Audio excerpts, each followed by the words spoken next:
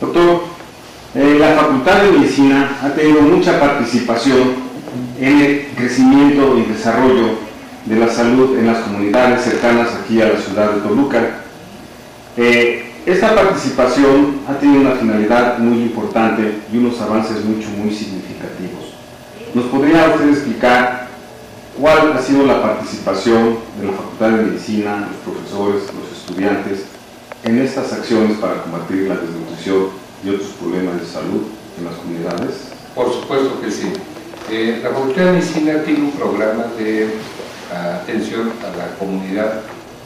Eh, quiero comentarles que actualmente tenemos 10 comunidades atendidas de manera eh, simultánea y con un alto dinamismo en cuanto a la participación de profesores especializados, todos ellos en salud pública, y eh, algo así como 900 alumnos que sábado con sábado durante el transcurso de un semestre se hacen presentes en 10 comunidades que abarcan 5 municipios.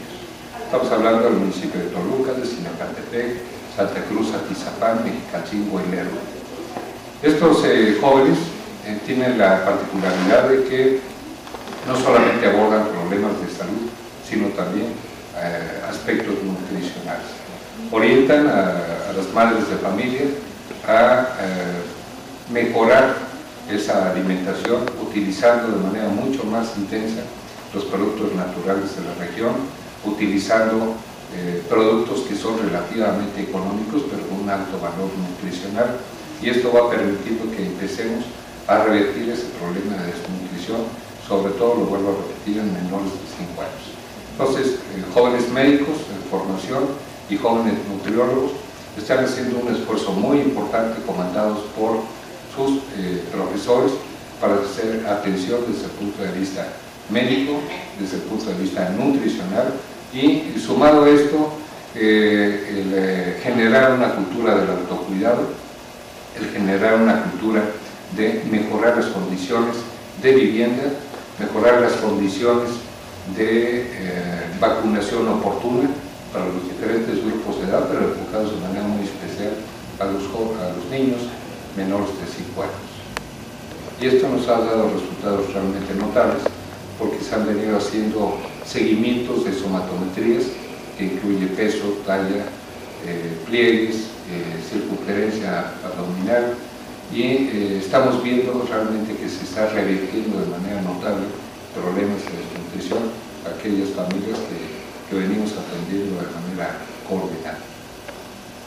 Doctor, en vísperas el licenciado Enrique Peña Nieto, presidente de los Estados Unidos mexicanos, en uno de los estados los mayores necesidades de nuestro país, eh, mencionó una importante campaña y un importante estudio y aplicar todas las acciones de la Presidencia de la República y de su gestión para combatir el hambre que afecta la desnutrición a 7.4 millones de mexicanos en 400 municipios de los estados más afectados del sur, como son Oaxaca, Chiapas, Veracruz, Tabasco y el Estado de México. Este programa es muy ambicioso y muy complejo. ¿Usted considera suficiente los seis años de la gestión para lograr cumplir todos los objetivos de este programa? Bien, eh, es eh, realmente una cruzada nacional contra el hambre que considero que es una fiel respuesta a una grave necesidad que tiene nuestro país, nuestra sociedad y como bien lo dice usted, son 400 eh, municipios que están gravemente afectados por esa pobreza alimentaria. Eh, pero va mucho más allá, no solamente es hacer lo que se venía haciendo, de acercar el recurso, que a veces no se distribuía o no se aplicaba de manera oportuna y, apropiada.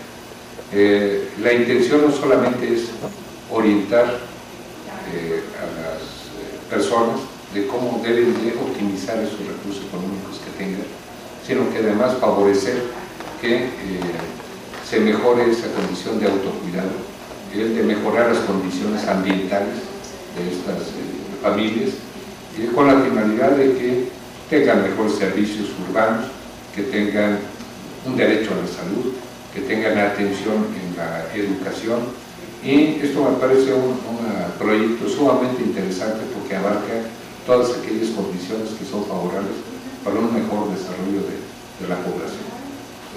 Por otro lado, en seis años, eh, se piensa que seis años es mucho tiempo, realmente es, muy poco, pero estoy seguro que se sientan las bases para que en administraciones posteriores se sigan con políticas de salud de esta naturaleza y que permita precisamente revertir este grave problema, no solamente de eh, desnutrición, sino de pobreza extrema, de pobreza alimentaria y que esto permita tener un México más eh, unido, un México mucho más equitativo en todos los aspectos. Y por supuesto a estos estados que se mencionaron de manera inicial, eh, que logren equilibrar y ser mucho más competitivos respecto a estados que tienen otras condiciones económicas, sociales, culturales. Muchas gracias, doctor. Muy amable. Muchas gracias, doctor. Mucho gusto.